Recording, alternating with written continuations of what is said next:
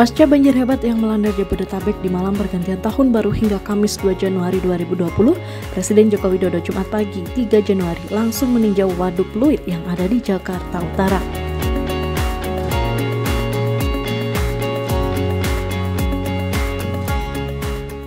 Jokowi memastikan semua alat penanganan banjir di waduk berfungsi optimal. Jokowi tiba di Waduk Pluit pukul 08 lebih 55 waktu Indonesia Barat, kemudian langsung menuju lokasi alat berat bersandar di sisi Waduk Pluit.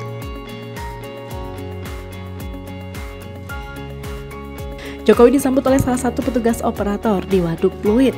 Mantan Gubernur DKI Jakarta ini datang hanya dikawal oleh Pas Pamres, kemudian menuju salah satu rumah pompa Waduk Pluit. Sidak Jokowi berlangsung sekitar 20 menit.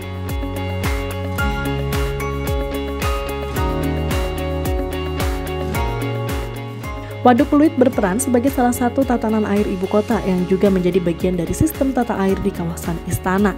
Dilengkapi dengan pompa yang berfungsi memompa air dari Waduk Pluit ke laut untuk mengantisipasi kondisi banjir dan pasang air laut atau rob. Azizul Hakim, CPNN.